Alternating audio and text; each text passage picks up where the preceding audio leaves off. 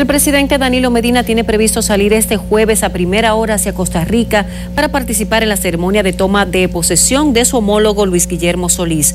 Se recuerda que Luis Guillermo Solís vino al país el pasado 24 de abril a invitar personalmente al mandatario a los actos. Solís recibe el poder de manos de Laura Chinchilla y la ceremonia está pautada para las 10 de la mañana.